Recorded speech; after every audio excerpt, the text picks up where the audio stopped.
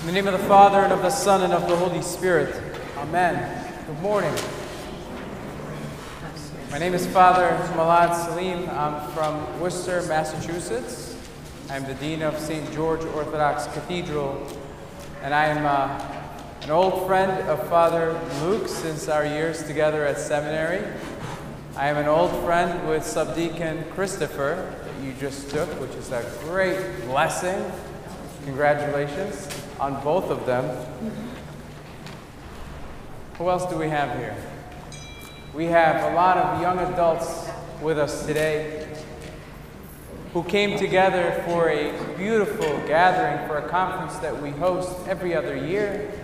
But this time we did it again just because we miss each other and we didn't want to go three years because of COVID, three years of not seeing one another. Because the next one that will come is in 2024. And so we came together as young adults from around the US and Canada, and we just dwelt together in a spirit of love, of harmony, of Christ's light that shines in the world and in our midst. My topic for those of you, how many of you I guess it's easy to, to look around and see that we're not with us. How many? Just so I know, like, how many people? All right, two people were not with us. The rest of you were with us for this conference? Come on. How many of you were not at the conference?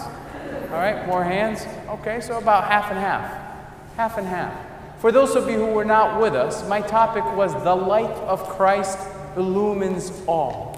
The light of Christ illumines all.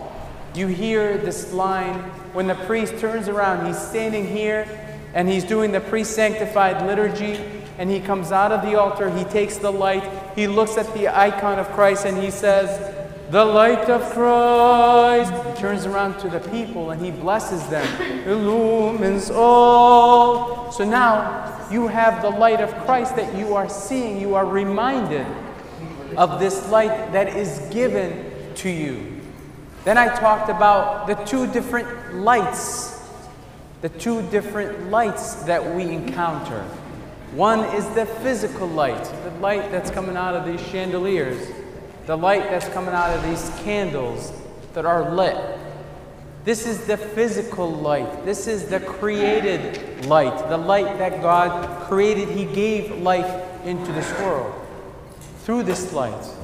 But then there is the uncreated light. This is the light that was not created because it is a person. And that is Christ Himself who said, I am the light of the world. But at the same time, He turns around and He says, You are the light of the world. He calls us to this higher calling. You are not just to be a parishioner. You are not just to be a husband or a wife, a sister, a brother, an uncle, a godfather. That's good, that's important. But you are to become the light of the world, the light that will give joy, the light that will give life, just like He is the light, just like He is the life. He brings us up to where He is he makes us worthy to be called the light. As we reflected on all of this, I shared with everyone the need to take our call, this call to be the light of the world, seriously. And many of you will, for the young adults and, and the rest of you, you will go home. You will go home and you will return to your jobs, you will return to the issues that you've been dealing with, and this has been a, a safe environment to be together where we can truly discuss our faith. But you will go back in places where you will feel uncomfortable sharing your faith. But you are called to be the light of the world. Not to be afraid, not to hide it under a bushel, but to set it up. At the time when Christ said, You are the light of the world, don't let this light be hidden because no one would do that. They would put it up so that people would be able to see. At the time when he was saying this, they didn't have beautiful chandeliers, right? They didn't have all of that. But they lit the lamp and they set it as high as they can reach. For me, it wouldn't be too high, but enough for you to see when you come into my home. And then you walked in and you were able to see. It would not be wise, it would be foolish to light that lamp and put it somewhere underneath. It would not serve its purpose, it would be useless. You are the light of the world. You have a purpose. Don't be useless. As you leave this church today and you return to your homes, you return to your jobs and your relationships, you will be challenged to take this light that you are and hide it under a bench or somewhere where people would not benefit from that light. But you are called to go out there and truly proclaim the joy of this light. You are called to sainthood. Don't forget that. I said that a lot yesterday. You were called to be saints, not just a husband and a wife, a brother or a sister. You are called to be saints. And I said to you, I'm working so hard and I keep coming short, but I will keep on working on becoming Saint Milad. And if I don't tell myself that, then I will be lazy and I will keep my light hidden.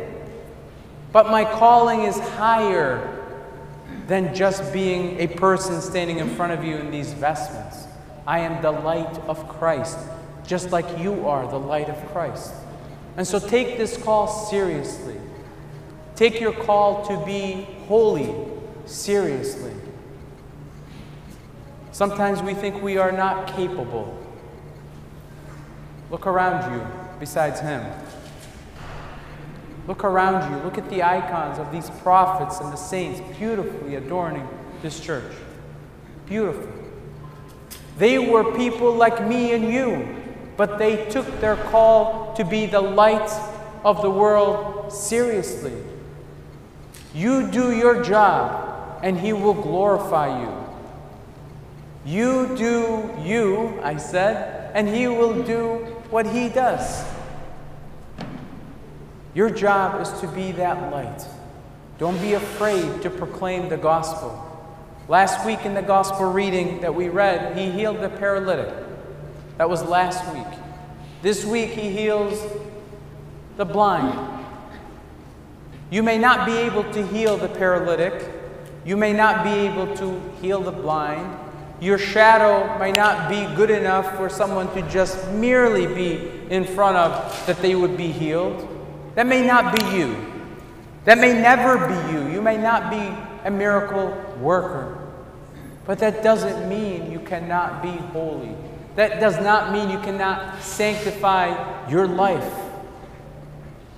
You do you and let Him do what He does. So, brothers and sisters in Christ, on this day, I challenge all of us, especially our young adults who were together and are leaving, and then the rest of us. As you leave this church today, realize that your calling to be the light of the world is a high call, is not something that you should just ignore. Serve your church, serve one another, love one another. That's how you become in His likeness. Do those things, and you will have an icon on these walls. You will. And if it's not recognized by the church, your icon will be in the kingdom of God. If you take your job to love, to serve, to worship, to give God the glory for all things, you do those things and you too will have an icon because you are already an icon. Perhaps tarnished a little bit from time to time, but you are created in God's image the perfect icon. That's you. That's me. We forget about all of that. But we are called to be that perfect image of God. May you take this call, may you take it home with you, and renew your commitment to Christ to be his true image in this fallen world. Amen.